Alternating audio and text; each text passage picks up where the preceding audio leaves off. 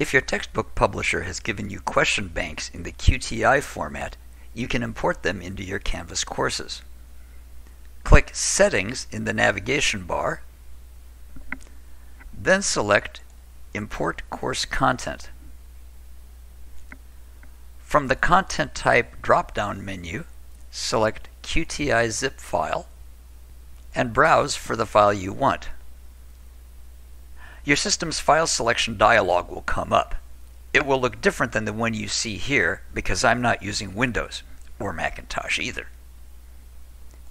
Select the file you want and click Import. Canvas will start running the import task, which will complete in a minute or so, depending on how busy Canvas is and how big your question bank is. To see your question banks, click Quizzes, and then the three dot menu to manage question banks. Here you will see any of the question banks you've imported. You can delete them by clicking the X, or look at them by clicking the name of the question bank. You can then edit any of the questions if you need to change any of the wording or the answers.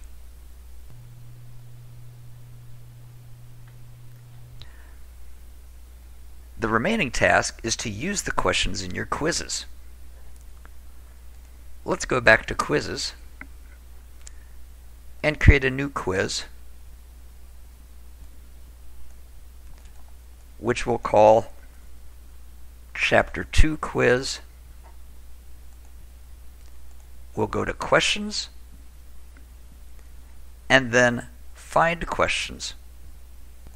You select the question bank you want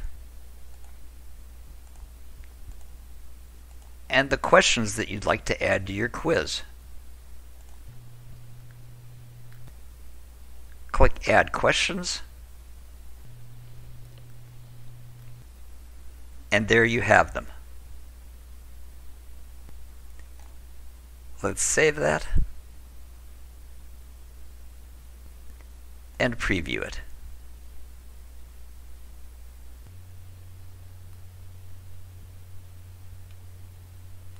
And that's how you import test banks and use them in Canvas.